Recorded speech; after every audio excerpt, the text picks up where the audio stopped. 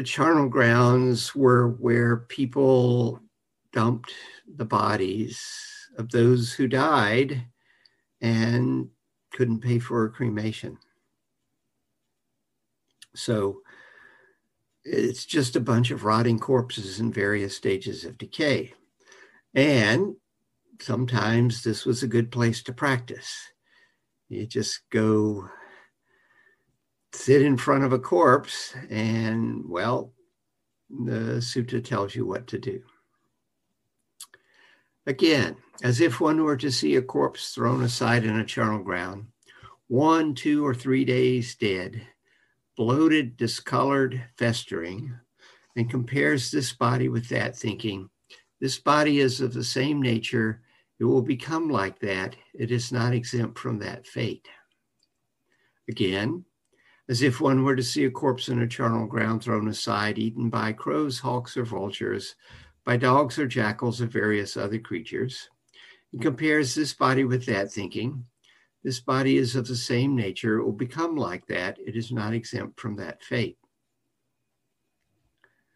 Again, as if one were to see a corpse in a charnel ground thrown aside, a skeleton with flesh and blood connected by sinews. A fleshless skeleton smeared with blood connected by sinews. A skeleton detached from flesh and blood connected by sinews randomly connected bones scattered in all directions. A hand bone here, a foot bone there, a shin bone here, a thigh bone there, a hip bone here, a spine there, a skull here, and compares this body with that. Again, as if one were to see a corpse in the charnel ground thrown aside, the bones whitened, looking like shells, the bones piled up a year old, the bones rotted away to a powder, and compares this body with that, thinking, this body is of the same nature. It will become like that. It is not exempt from this fate. So, yeah, we don't have charnel grounds. So uh, it's a little more difficult to do this sort of practice. But notice it says as if. So you could do this just as a mental exercise uh, especially if you've seen a charnel ground, uh, which I know at least one person on this retreat has visited. Um, but it may be possible for you to do other things. One, if you're hiking in the woods and you come across some creature that has died, you could contemplate the decay of its body and realize, yeah, this is what happens to all bodies, including your own. If you co- come across a creature that's died and you can revisit the area, then you get an even better sense of what's going on. When I was teaching at Cloud Mountain one time, there was an elk that died not far off the property. And uh, I found out about it at the start of my retreat. And over that month, I would go visit the elk carcass and watch the changes that were taking place. And then I came back six months later, and yeah, wasn't much left. The bones, well, they weren't whitened, they were green. This is because Cloud Mountain is in, well, the rainforest of Washington State. And then I came back six months again after that, and I had trouble finding the bones. There were just a few scattered bones around. And six months after that, there was no sign of the carcass. So that was kind of interesting. If you have a friend who works in a morgue, maybe you can go in and visit the body's there. Uh, if there's a medical school nearby, you might be able to watch an autopsy. And there's an exhibit called Body Worlds that travels around, and it's people who've donated their bodies and they've been encoded in plastic and you know they're opened up so you can see what's going on inside and so forth and it's it's really quite fascinating uh, definitely recommended so these are the possibilities for doing this practice um, the whole idea is just to remember, yeah, any body you're lusting after, their body's going to wind up like that. And your body is going to wind up like that. So just get a realistic view of bodies. Any questions or comments?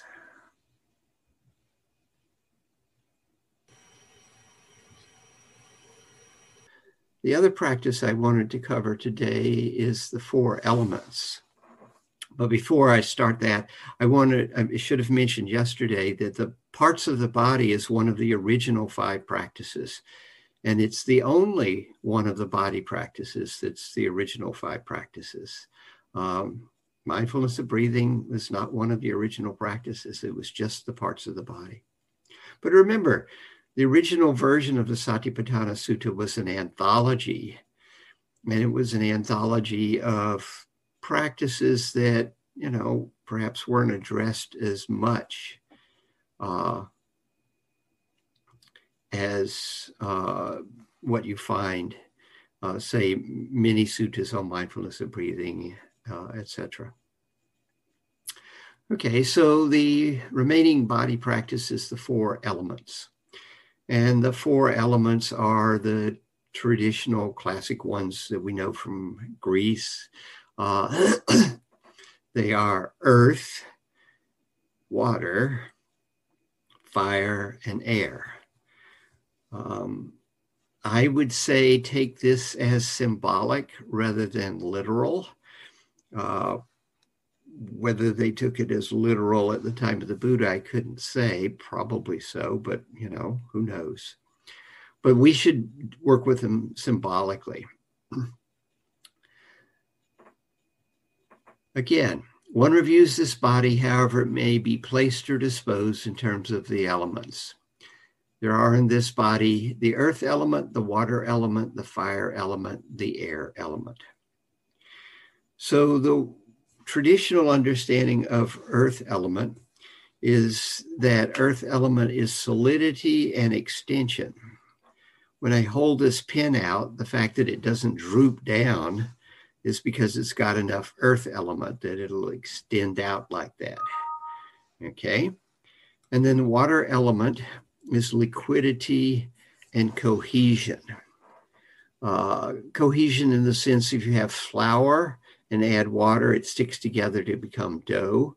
Or you have dust and add water, it sticks together to become mud. Fire is hot and cold, and air is the gaseous nature and also movement.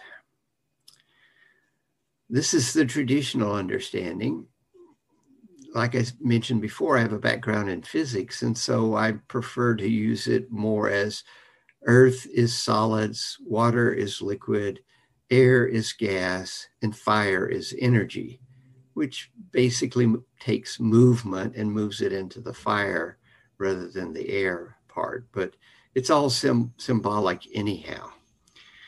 Uh, we have a simile just as if a skilled butcher or his assistant, having slaughtered a cow, were to sit at a crossroads with the carcass divided into portions.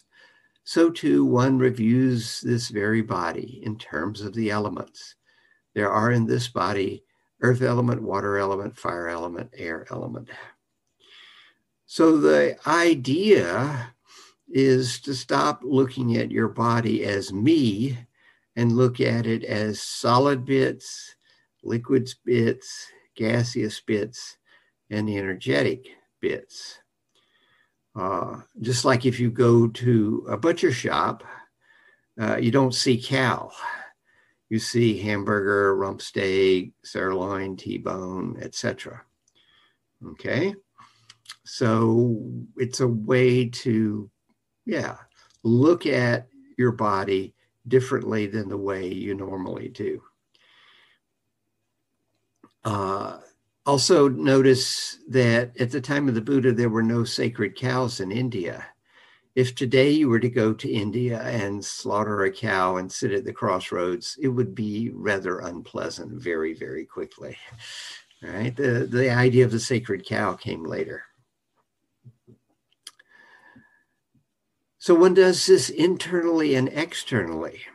So there are solid bits within you, and there are solid bits around you. I mean, think about what you're sitting on. It's certainly not liquid, right? It's solid. It's not rock solid, hopefully, right? So there's solid internally and externally. Uh, you know, the, the four-legged member of the Sangha that was listening earlier got the same solid bits, liquid bits, gaseous bits, air bits that, yeah, just like we do. So internally and externally, arising and passing. Um, ice melts, becomes goes from solid to liquid, right? So sometimes they one of these will change into another. Uh, and thus, mindfulness is established just to the extent necessary for knowledge and awareness. And one abides independent, not clinging to anything in the world. And that is how one abides contemplating body as body. So I'm going to do a guided contemplation on the elements, but first I thought I would see if there are any questions or comments about the elements before I do the guided contemplation. Ryan.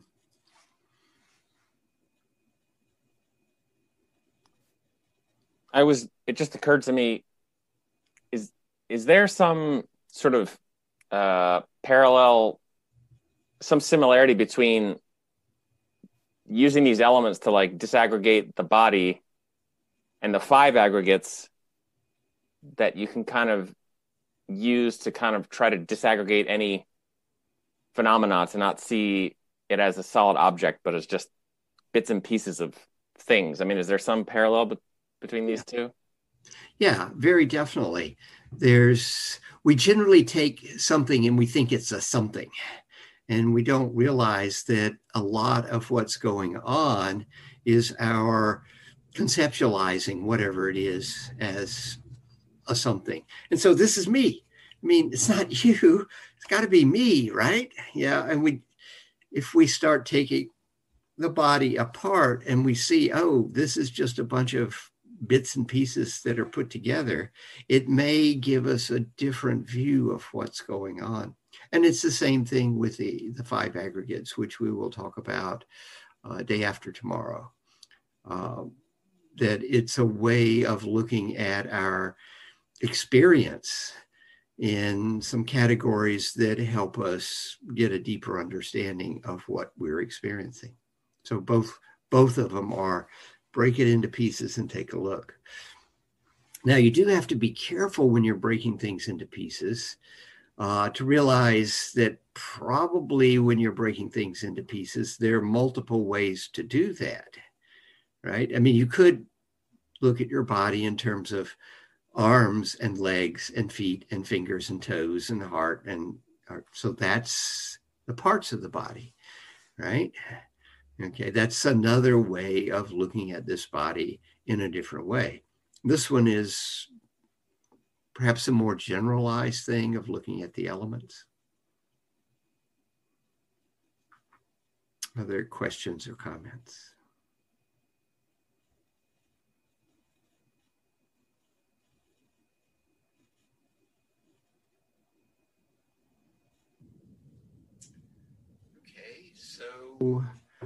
We'll do a guided contemplation. So get yourself settled and put your attention on your breathing for a few moments.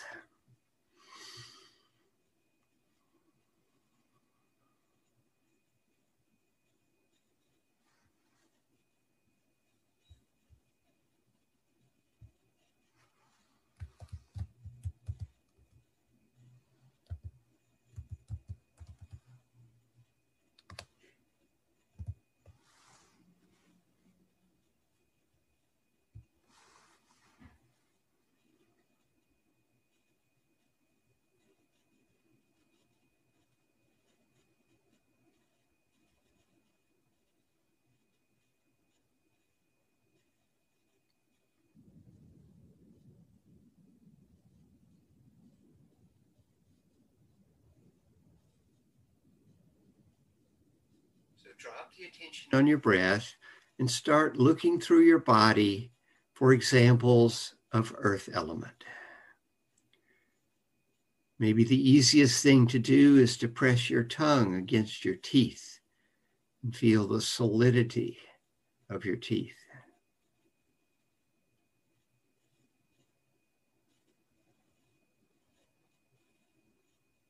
You might put your attention in your fingers and you can maybe notice the bones there. You can also notice the solidity of what they're touching. Just start looking through your body, looking for the solid bits, examples of earth element.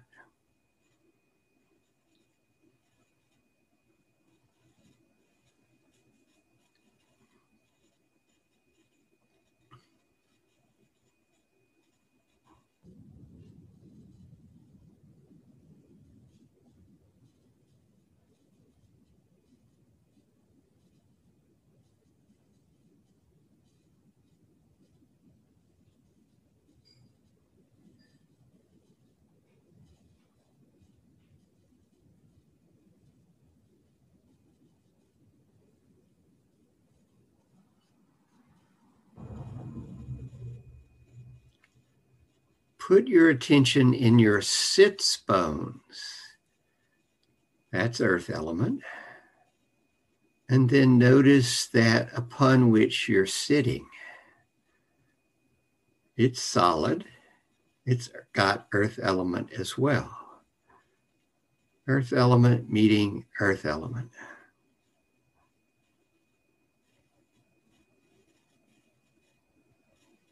Notice your feet. Maybe you can feel the bones in your feet. And you can also feel that upon which they are resting. Earth element meeting earth element again.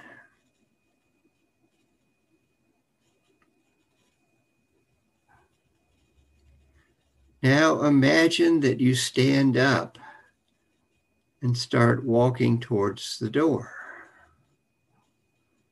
As you're walking, you can feel the earth element in your bones of your legs and feet and the earth element in the floor.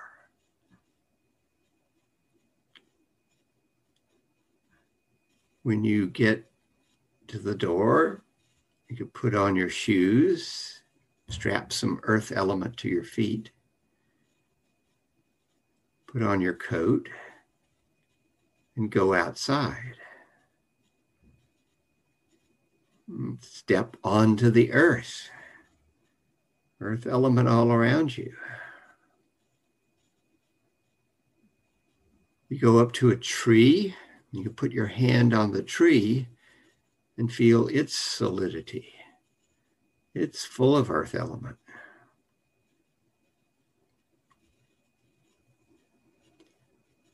You find a rock, that's a whole bunch of earth element.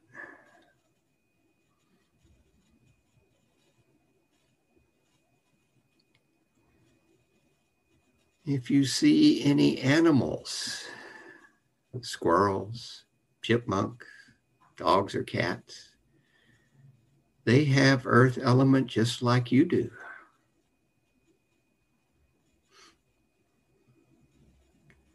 Although the bird's bones are hollow, they have bones. That's more earth element.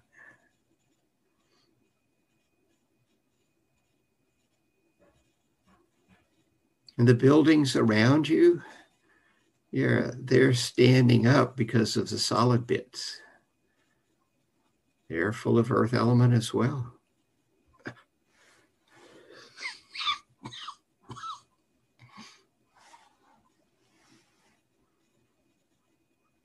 Just look around, see what you can see, and notice how much of it is earth element.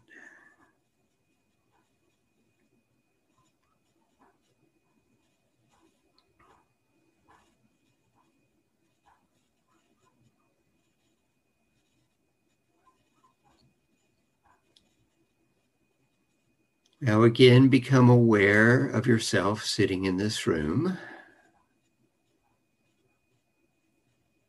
And now see if you can notice water element in your body.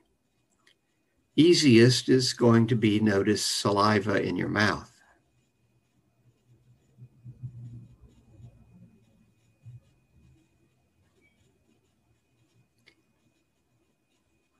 Sometimes you can notice your heartbeat,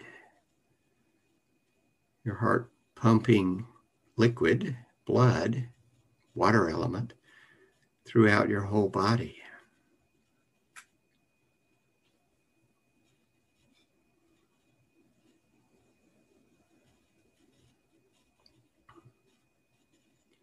Of course, if you remember your high school biology, you know that you are about 70% water.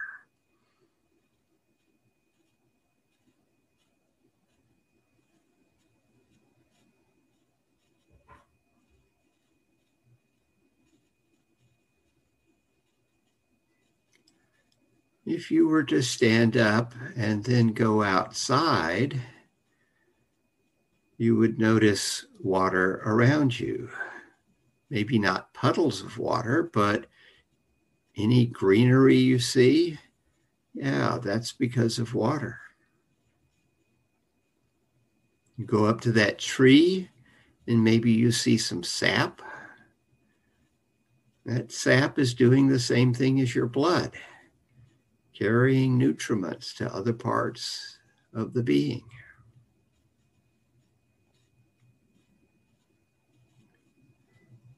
Any animals you encounter, they're as dependent on water as you. They're probably as much water as you if they're a mammal or a bird.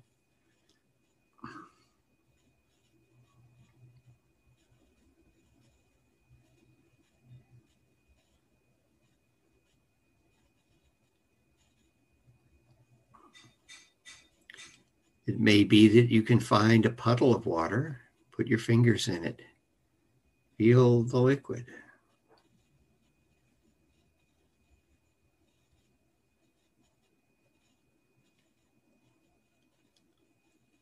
And what's truly amazing is that water falls out of the sky. This planet wouldn't work if water didn't fall out of the sky. At least it would be just desert.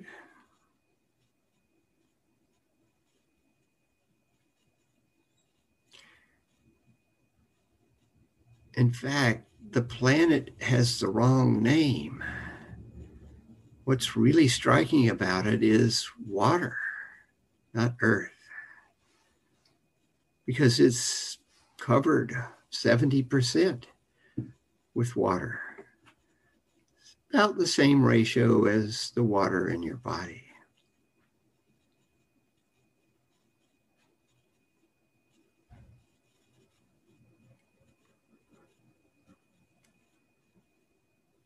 Now, again, become aware of yourself sitting in the room and see if you can notice the air element.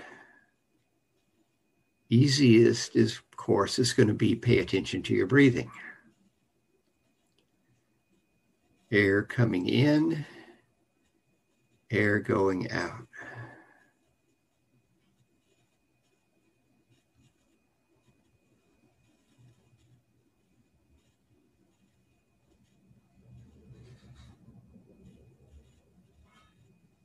Sometimes you notice other gaseous bits in your body.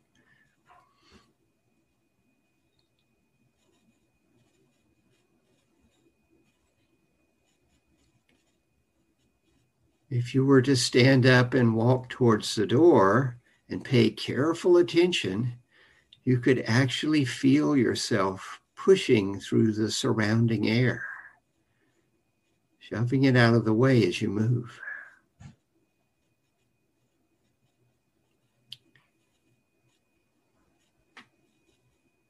You go outside, and if there's a breeze, you feel it, air pushing against you. You see the tree moving. It's surprising you can go and wrap your arms around a tree and feel it moving in the wind.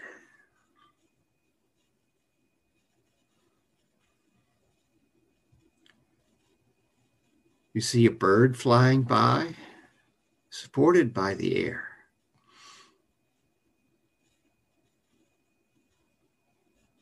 And of course, that bird and any other animals you encounter are breathing air just like you do.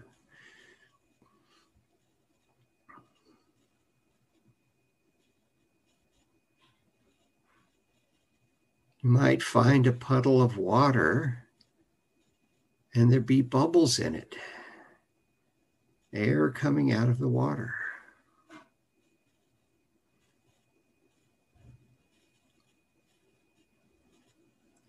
We actually live at the bottom of an ocean of air.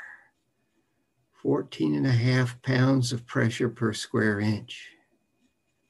That's actually quite a lot. We don't ever think about it, but if it were to go away, it would be most unpleasant.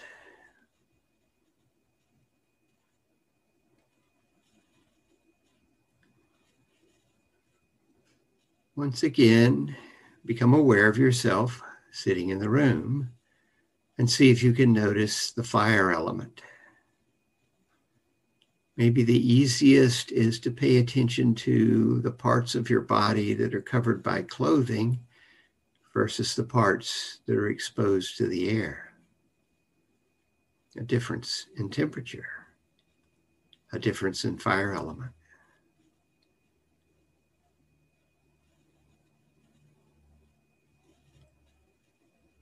Pay attention to your hands.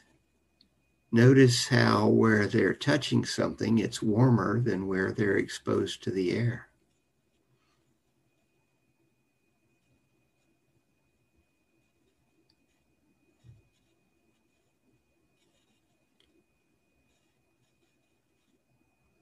And of course, you have a temperature, 37 C 98.6 Fahrenheit. That's actually kind of warm.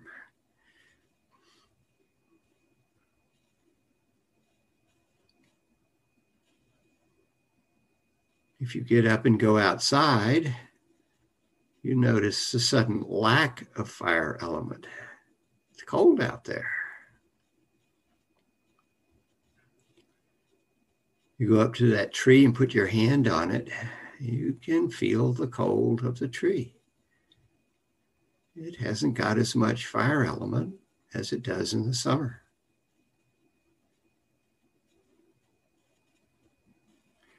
If there's a puddle of liquid water, you know that it has some fire element in it as well, because otherwise it would have frozen.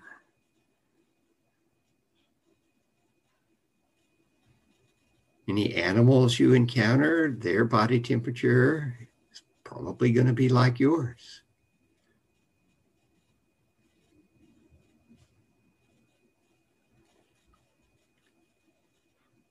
And the sun is beaming fire element at you from 93 million miles away.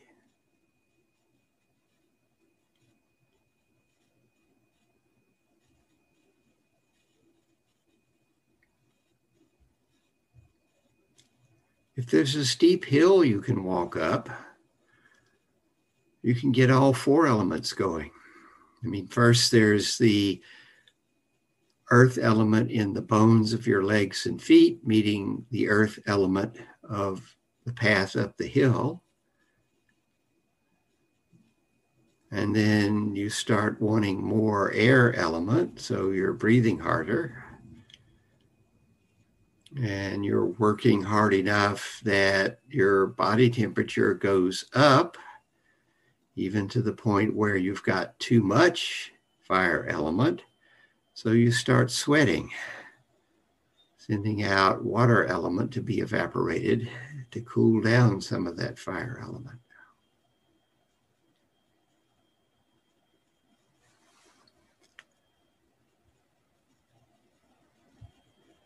These are the four elements. This is what makes up the world solids, liquids, gases, and energy,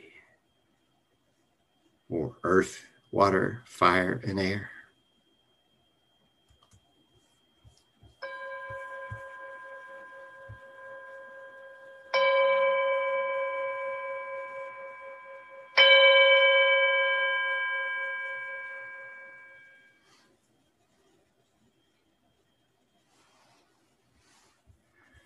You can do this practice as a contemplation, just like we did it. Get yourself concentrated and just, yeah, redo the same thing. But I think it works better if you actually go outside and do it. You can do this as walking meditation, inside or outside.